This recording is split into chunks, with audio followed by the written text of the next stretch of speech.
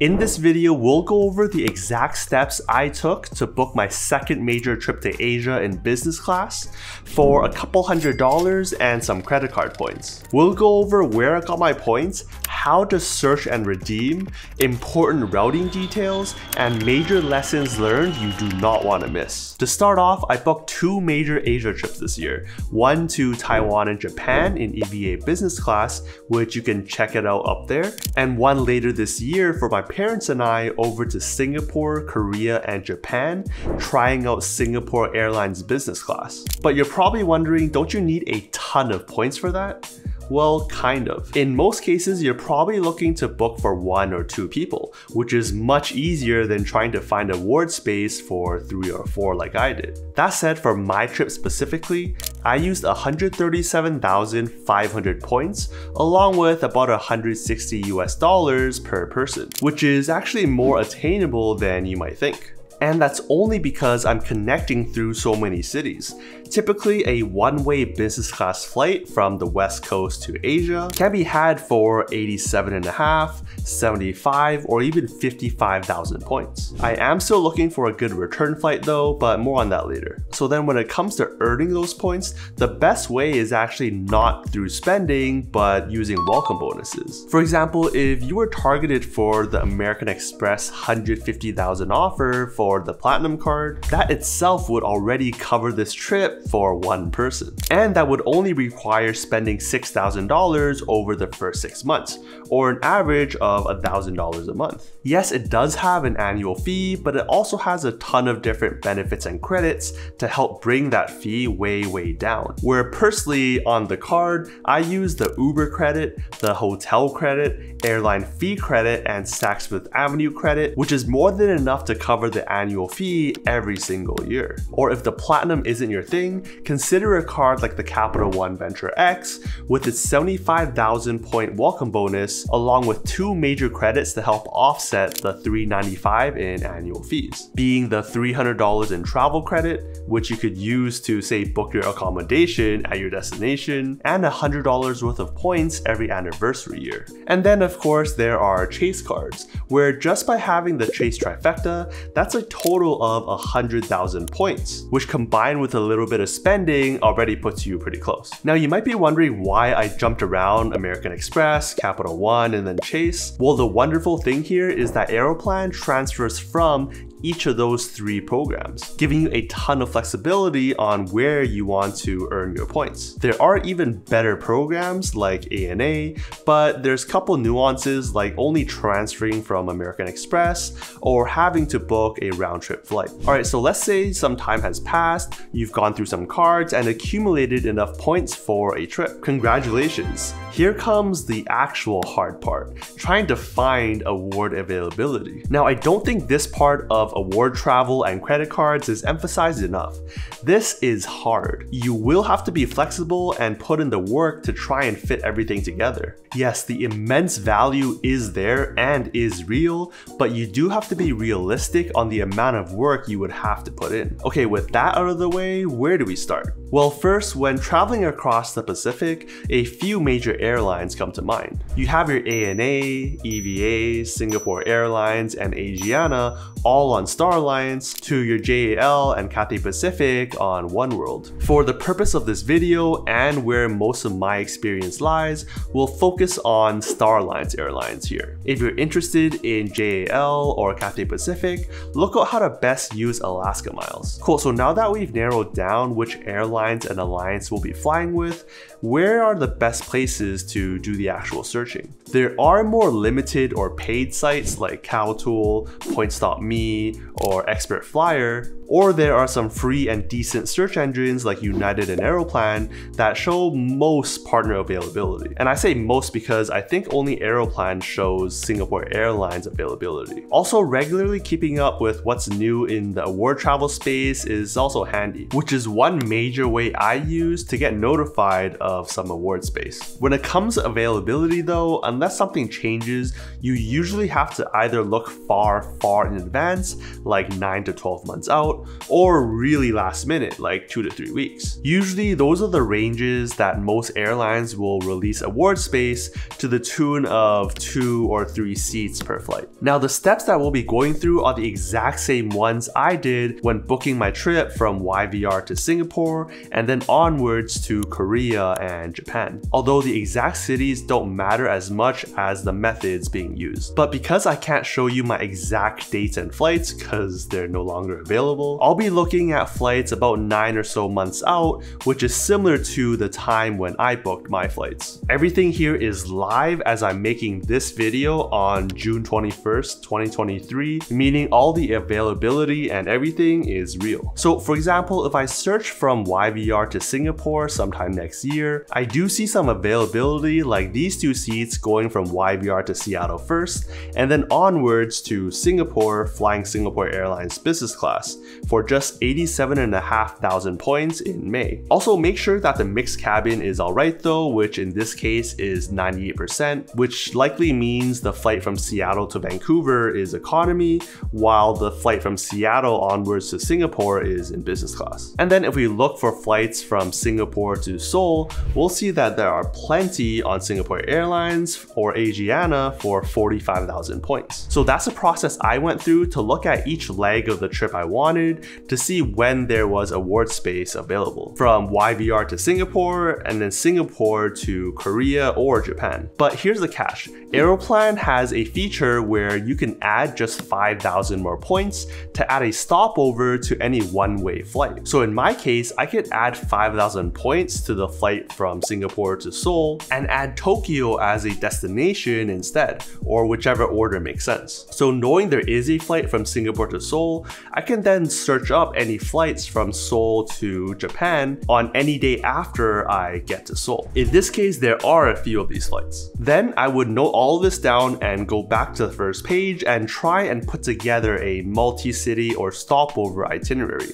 Remember to remove flight 2 here because we're technically only booking one flight with one stopover. So we'll put Singapore as the departure city with Tokyo being our destination and have Seoul as the stopover. We'll be leaving Singapore on May 29th and because the flights we found from Seoul to Japan were on June 2nd, that's a 4 day stopover so let's put that in and then go search. Okay so note how this itinerary only costs 50,000 points, which is the original 45 plus 5,000 for that stopover. I would then do some research here, looking at each of the itineraries and seeing what airlines and what aircraft is being flown, say the A350 on Asiana or the 787 on Singapore Airlines.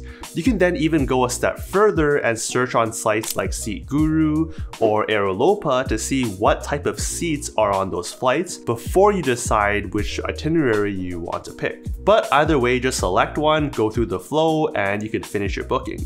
It's pretty surprising to see that the same itinerary on economy is 30,000 points, whereas on business is less than double that at just 50,000 points. As you can kind of see, the most important leg of this trip is the Trans-Pacific one from YVR to Singapore. Once you're there, then all the flights within Asia have much more availability. That was a lot of info, so feel free to rewatch that section to really understand the process. But to go over the high level steps when searching and booking, first I looked at what space was available for three people going from the west coast over to Asia. In my case, this was YVR to Singapore. Then I knew I wanted to go to Japan and or Korea, and I knew you could add 5,000 points to add a stopover to any Aeroplan one-way award. So I searched for Singapore to Korea or Singapore to Japan, as well as between Korea and Japan, laid out all the flights and dates that I wanted to then get ready for actually booking. I then put this into the multi-city search, including the stopovers, and checked that everything works, and went on to transferring my points over from Capital One, American Express, and Chase, which all pretty much cleared immediately. I also transferred in that order because that's the order I value my points at from least to most being Chase. Now, one unfortunate issue which meant I had to pay significantly more points in is because of of a very specific Aeroplan stopover rule. I think Prince of Travel explains this best, but basically, your routing has to be logical, where the general rule is your route can't be 100% over the direct distance between the two points. And you know because I'm talking about this, I was affected. So the routing I would have liked is YVR to Korea with Singapore as the stopover, but that does not work. You see, the direct distance from YVR to Korea is 5108 miles. However, the distance of YVR over to Singapore as a stopover and then on to Korea is 10,834 miles. That is over 100% more than the direct flight of 5108 miles, rendering this itinerary illogical. And I just could not get around this barrier given the same issue happens if you try and do Japan instead of Korea. The only way this works is if there was an award space from YVR to Korea and Japan first, and then onwards to Singapore. But unfortunately, that did not exist. Alright, so how did I do with this redemption? And how does it compare to paying cash instead? Well, it's not the most straightforward to compare right now, given A, it won't be accurate to look at the cash fares for when I'm flying this year, given the times won't match up. But I'll use prices of spring of next year, which is the same amount of time as when I booked my flight this year back in December of 2022. And B, sometimes one-way flights are more expensive than half of a round trip. So depending on what your itinerary is, the redemptions could be a little bit off. But to attempt a comparison, for leg 1,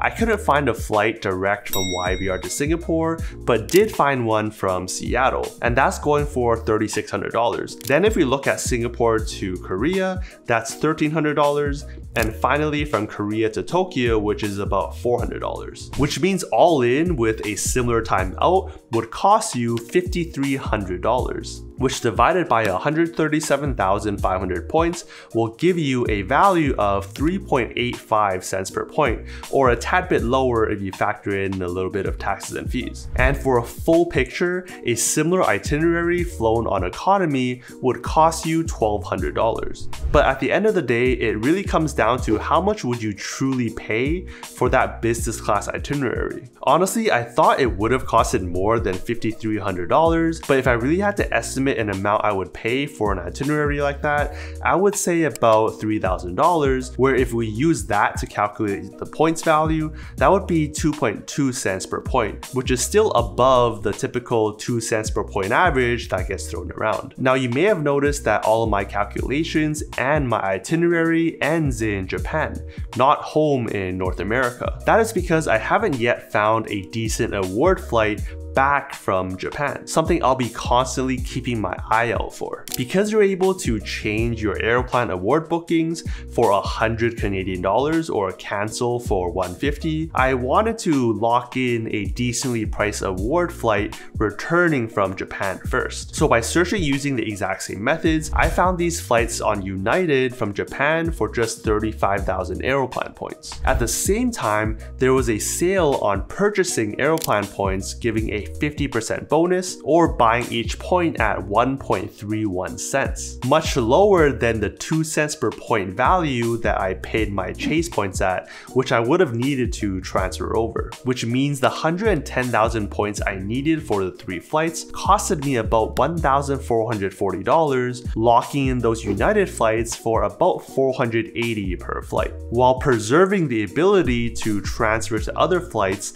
like economy on ANA or business class flights if they open up for just 100 Canadian dollars. Remember that more award availability opens up within two to three weeks of the actual flight. And looking on Google Flights, a flight back from Japan would have easily costed upwards of $800 per person without the refundability. So I would say it's a worthwhile trade-off. So that was a long and really eye-opening journey. But there are cheaper ways to do what I did had I not been rushed to lock in the three award space, or actually four given my partner booked the exact same routing, or knew in advance the exact cities and dates I wanted to go on. One, transfer Amex points over to ANA and book that way. Given it would have costed you 136,000 points to do a round trip business class flight from North America to Singapore Singapore and have the ability to do a stopover, which would have been done in Korea or Japan, which would in total be a much better points value. However, ANA does require you to book round trip, and there wasn't good availability for return flights on where I wanted to go. I also don't think I had enough Amex points to cover this trip for four people. Two, if timing was better, I could have leveraged any Aeroplan transfer bonuses that regularly come up. For example, on my recent trip to Taiwan and Japan,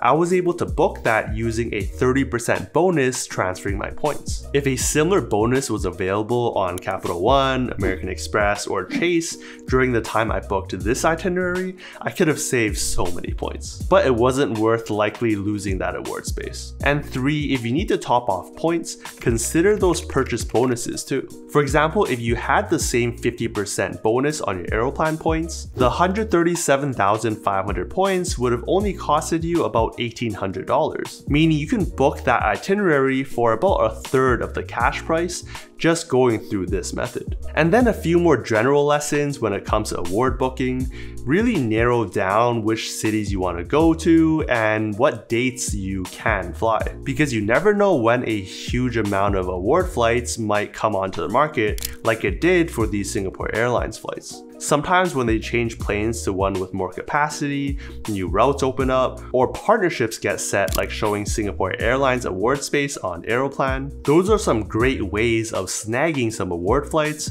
of course along with booking far in advance or really last minute. And then more specific to Aeroplan, consider locking in your hardest to find flight first like your Trans-Pacific one. Because having to pay 100 Canadian dollars to change or 150 to cancel an award booking is a small price to pay for that bit more flexibility. So that was a full end-to-end -end about what I do when looking to book award travel. It's not perfect, but I'm always learning. Let me know down below what you think, what I could have done better, or any other questions you have about this complicated process. And if you want to get started yourself, check out this video for some amazing cards that will accelerate your points earning. See you over there.